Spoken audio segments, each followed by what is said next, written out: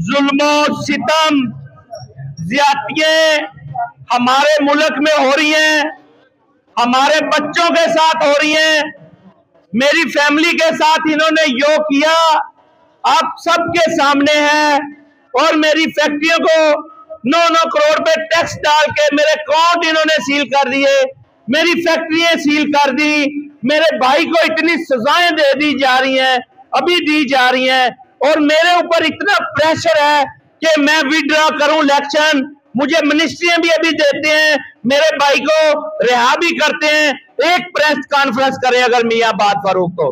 लेकिन हम ऐसी चीज़ों को अपने जूते की नोक पे रखते हैं। हम आज भी खान के सिपाही हैं और रहेंगे, लड़ेंगे, मरेंगे, झुकेंगे नहीं, इंशाल्लाह बिकेंगे नहीं।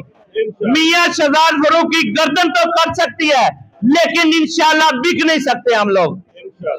उसके बाद जो मेरा अजीम लीडर इमरान खान आज भी काल कोठड़ी में बंद है जिसको आज भी दस साल की सजा सुना दी गई। वो जंग किसकी लड़ रहा है? वो आपके बच्चों की जंग लड़ रहा है। वो मेरे बच्चों की जंग लड़ रहा है। अपने बच्चों की जंग नहीं लड़ रहा वो। उसे कुछ नहीं चाहिए। उसने कहा, मेरे पास जो प्रॉपर्टी है, मेरे मेरे जाने के बाद वो भी शौकत खानम को वकफ कर देना, मेरे बच्चों को ना देना। यहाँ पे ये चोर डाकुओं ने अपने बच्चे तो पाले ही पाले हैं। उनके बच्चों के बच्चों के कोर्ट में भी देखेंगे कोर्ट ऑफ़ कंट्री में प्लाजे बिल्गे क्या क्या नहीं है। लेकिन मेरे खान को कुछ नहीं चाहिए, वो आपके बच्चों की जंग लड़ रहा है। मेरा खान, मेरा लीडर ये कहता है कि पाकिस्तान का मुस्तकबिल बचाओ। हमने तो अपने पचास साल जाया ज़िंदगी कर दी। वो अपने बच्चों की तो बचाए ना अब। क्या करना चाहते हैं आप? अब नहीं जागेंगे तो कब जागोगे? उठ जाओ, पाकिस्तानियों, आठ फरवरी आपका वक्त और टाइम आ चुका है। पाकिस्तान के मुस्तकबिल का टाइम आ चुका है। हमारी दालतों को, हमारे दारों को हमारी चीज़ों को आप समझ रहे हैं। ये नून लीग वालों ने हर एक चीज़ को हाईजैक किया हुआ है। हर एक चीज़ को इन्होंने खरीदा हुआ है।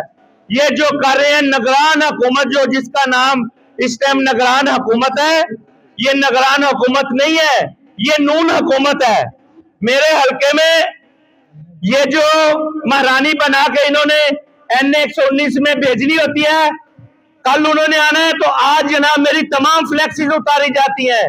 कारपोरेशन की गाड़ियाँ आ जाती हैं। हमारे वर्कर को परेशान किया जा रहा है। हमें परेशान किया जा रहा है। वज़ीर अला साहब ने कहा था कि लेवल प्लेइंग फ़ील्ड होगी। नहीं मिल रहा हमें ऐसा कुछ भी। यहाँ पे ज्यादतियाँ हो रही हैं। हमारे हाथ पाँव बांधे हुए हैं और हमें मैदान में फेंका जा रहा है। मरियम, मैं मरियम को दावत देता हूँ कि मैदान में आए। इलेक्शन लड़े, मेरा मुकाबला करे। वो मेरा मुकाबला नहीं कर सकती तो खान का कैसे करेगी? मेरा लीडर तो जेल में। वो जेल में तो ये मेरे सामने नहीं आ रही। इनशाला एन ए एक सौ उन्नीस की आवाम जाग चुकी है। इन्होंने फैसला कर लिया है।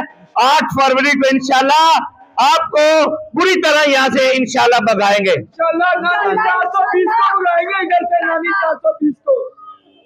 मेरा लीडर अदालतों के निज़ाम आप देख रहे हैं कि आज उनके साथ जाति की ये प्रोपोगंडा है। इनका ये प्रोपोगंडा हमने खत्म करना है।